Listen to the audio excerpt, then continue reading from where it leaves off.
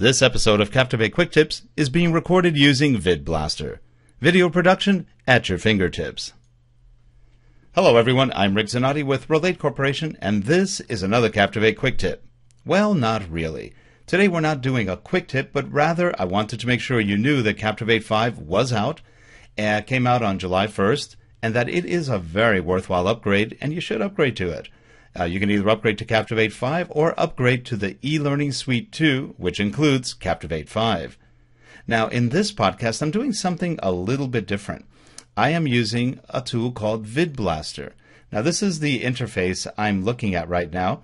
And as you can see, there are different cameras and different players available to me. You can see the volume indicator. So it's got a lot of different capabilities used for video broadcasting, podcasting, uh, meetings, filming, recording. You can stream anything you're doing automatically. In this case, I'm only recording it, but I could be streaming simultaneously. Very powerful, very fast, runs on any PC at this point, does not run on a Mac. Now, that's it for our little VidBlaster uh, advertisement. And by the way, we're not resellers, it's just that I really like the product, and this is a trial version, which is why you see the little VidBlaster logo in the upper right corner of the screen let's get to talking about Captivate 5 and why it's a real good upgrade. Now, one of the first features that is really good is master slides. Master slides are pretty much what PowerPoint has had for a very long time. They allow you to define the layout design of a slide and then apply that design to other slides in your piece. It makes for a very consistent look and feel to your products. Now, second top new feature are object styles. Object styles allow you to define the look and feel of a specific object, let's say a text caption, and then you can apply that object style to other similar objects within your Captivate piece. Extremely powerful feature, uh, very similar to cascading style sheets in a Dreamweaver, let's say, application or HTML application. Very easy to use, and it makes your piece look very consistent. So that's uh, object styles. Third one is there is a brand new Captivate user interface. The new interface is very efficient. Uh, it's easier to work with. Uh, you don't have to have pop-up window anymore with tabs that you're going back and forth across.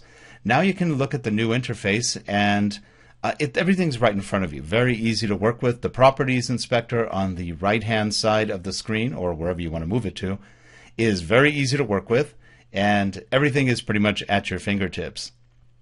You also have uh, the ability to create a lot of layouts and put things exactly the way you want them using Captivate. Another new feature is improved video capability.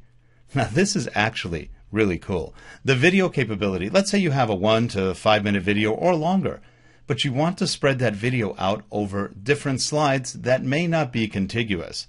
Now, in the old days, you'd have to break that video down into five or six different pieces not anymore. With Captivate 5, you can import that video once, and by the way, it doesn't have to be in an FLV format. You can import an AVI or other formats. It will convert it to um, an FLV or an F4V by using the media encoder automatically for you. So it saves you a lot of production time on the video end. You don't have to cut the video up into five pieces if you're going to use it in five different slides and import them as five different videos. No, you can import one video and then on each slide that you want to show that video in, you have a marker that tells it how much of that video you want to play. Even better, you can synchronize events like text coming on or graphics or animations to the video. So as things are happening in the video, other things can be happening on the Captivate stage. That's really cool. We have been asking for this feature for a very long time, and it's here. So I hope you take real good advantage of, of that feature. And finally, one of the top features that I, I just love is the animation effects engine. So in this case, what you can do is take your effects, let's say animation effects like fades, moves, things that you want to do with an object. Uh, you can now add pathing, do all sorts of stuff to an object, bring things from off stage onto stage. Couldn't do that in previous versions of Captivate. Now you have full, oops, now you have full control of where your stage is. Things off stage, on stage, you can bring everything on as you need it. You can also create animations that are custom if you're a Flash developer. Let's say you go into Flash and you create a specific kind of transition and you want to bring that into Captivate. Well, it's easy. You export the animation as an XML file and you import the XML into the object effect engine. And guess what? Now you've got your custom animations right inside of Captivate. So if you're a Flash developer and you want to create a lot of custom animations for Captivate, here's your chance. It's real easy to do. And the nice thing about the Object Effects Editor is you don't have to go to Flash, you don't have to go to Swish. It's all right there for you. You can create it without having to even go to PowerPoint now. You can do a lot of the similar kinds of animations that PowerPoint does right inside of Captivate. This is powerful. These are great new features uh, that are in the product. Now, before we finish today, uh, this is our website. It's www.relate.com. And I want to ask you to go visit and get a free 24 hour pass to lynda.com.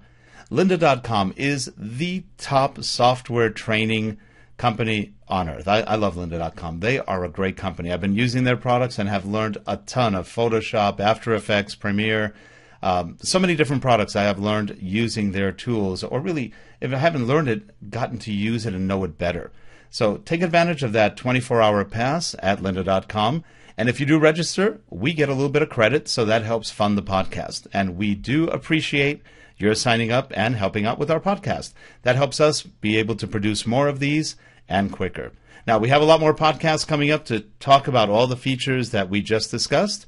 And uh, stay tuned, we'll be having those very, very soon. For Captivate Quick Tips, I'm Rick Zanotti. Thanks for watching, and wherever you are, I hope you're having a great day. We'll see you soon.